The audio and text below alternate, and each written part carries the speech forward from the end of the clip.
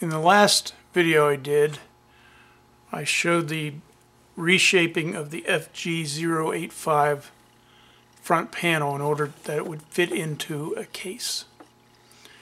And I was left with a gaping hole at this end because the DDS is only this big. Looks pretty classy, right? What I did, if you remember, there was a, a back plate, FG085, made out of the same material, same texture as the front plate. So I took a piece of the back plate and cut it. In my case, it ended up being an inch and a half. And slid it in next to the generator.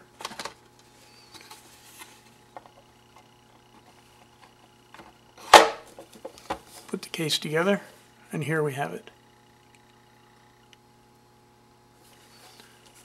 The other thing I mentioned the last time was the fact that I wanted to gain some use out of this space and volume since the digital generator takes up less than an inch.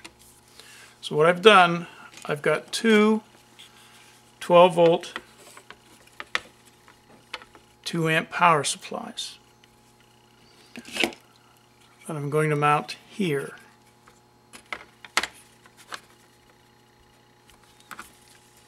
And I've taken apart with the digital generator and I'll pop it down here.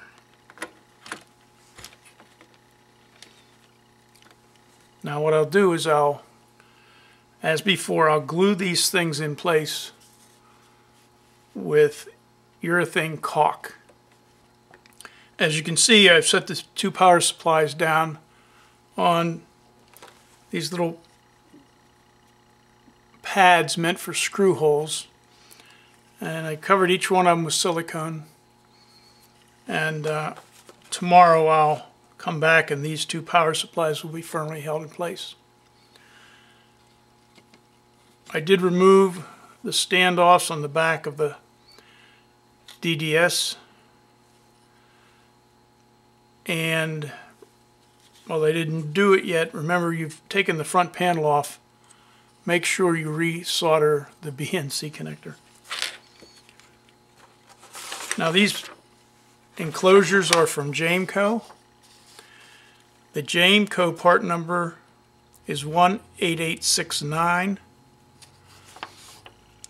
and the manufacturer's part number is listed as an H2505-R.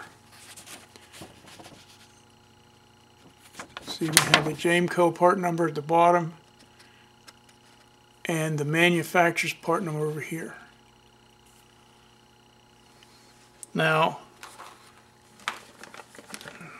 this is the, what the enclosure looks like from Jameco. There are uh, no other numbers I can find on it. And the sticker merely has the Jameco 18869 number. Although I'm sure this case is generically made somewhere in Asia. These power supplies are now firmly in place. bonded with that white goopy stuff. I've taken what used to be a wall wart. I've removed the original connector for AC, put a white and black tail on it, and now I intend to glue it down over here. And this will be the power supply for the DDS this will be two other 12 volt supplies. Here's the project almost complete. I've got the two 12 volt power supplies, a 12 volt, what used to be a wall, wall wart. I kept the uh, filter, glued it down with the white stuff. I have soldered a wire to power the DDS and I made this little board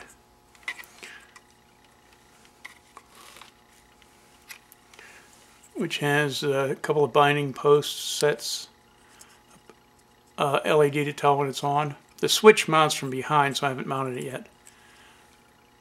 And these are all at 3 quarter inch centers. So if I plug a jack in here and here, I'll get 12 volts up to 2 amps. If I put a jumper between this one and this one, and plug into here, I'll get 24 volts to 2 amps. And that little that little block fills the space that the mini DDS didn't occupy.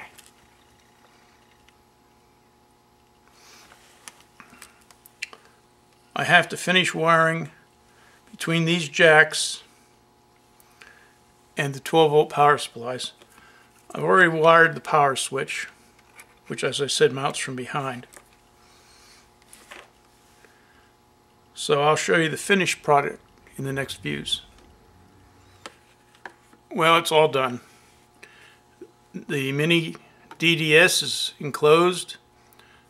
Two 12 volt 2 amp power supplies are built and installed. Pilot light comes on. It's a maintain switch and the DDS is booting up.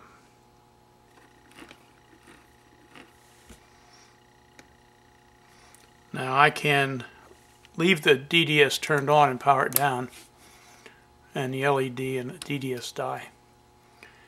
And we turn the power back on. A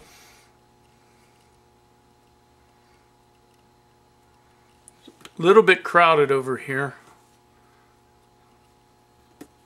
I can turn the switch off pretty easily. Turn it on, I have to get in between the banana jack. So the purpose of this series of videos was to show you how to enclose this generator, which was reviewed in, I think, Electronics Trivia 16.